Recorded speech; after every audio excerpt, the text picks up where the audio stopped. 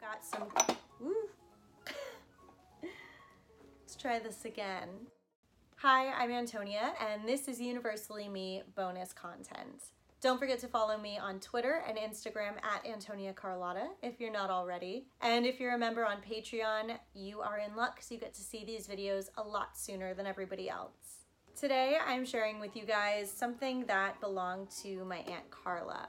Carla was the niece of Universal founder Carl Laemmle. She lived just the ultimate fairy tale life. She grew up living on the Universal lot. She was an actress and a dancer and a singer. You can see her in the original Dracula, in Phantom of the Opera, a ton of other movies, both at Universal and at some of the other studios. So this is what I am sharing with you today. My mom told me that it is a train case for traveling and my Aunt Carla used it as a makeup case. It's pretty heavy, I would say. Uh, I don't know, at least five pounds, I think. I don't know what it's made of. You can see that it's got this gold CL right here. And yeah, let's take a look at what's inside.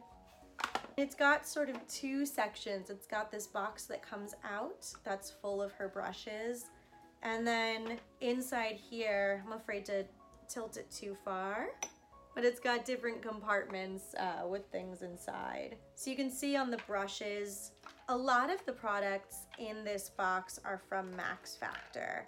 Here, Max Factor, clean brush, maybe eyebrow brush. I hope this is not a toothbrush. eyeliner brush, this brush.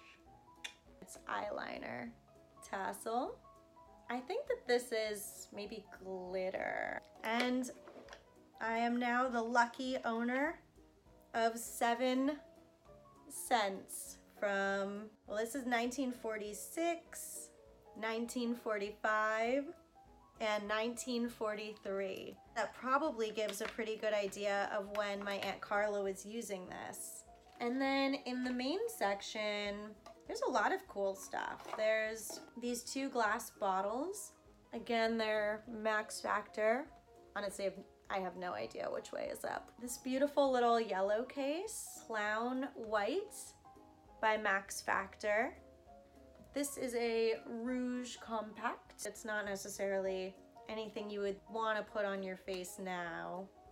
I mean, unless, I don't know, if you want to, go ahead. I really can't tell. It almost looks like it says Merry Christmas or something. Cost a whole $1. The color is called Conquest. My aunt Carla, so she worked at Universal for many years and afterwards she did a lot of burlesque dancing, some really risque stuff too in her time. She was really amazing. This is Marie Earle, a rouge paste if you will. Oh. Ah, I think this is pretty cool. This is a Moist Rouge from Max Factor. It has a picture of the actual Max Factor on it. I like that. Ooh, I need to be very careful with this. It's this beautiful peacock. It's, mm, I don't know how else to say this. It's some sort of a white powder. I have to imagine it was that she wasn't like shiny or something like that. Don't, don't get any ideas. Oh yikes, but the last thing that I want to do is spill this anywhere. Cutex cake polish, teeny tiny little thimble. And well, that's a look inside my Aunt Carla's makeup box. Almost everything that's in here is I would say at least three quarters of the way used. So I have to imagine that this was just her little case that she would bring with her everywhere. And it's kind of neat that it's relatively untouched now, that it's like a day in the life of Carla. So here's one more look. The front, the side, the back has maybe seen better days. Don't forget to follow me on Twitter and Instagram at Antonia Carlotta. And thank you guys so much for joining me on this exploration of my Aunt Carla's makeup box. Bye.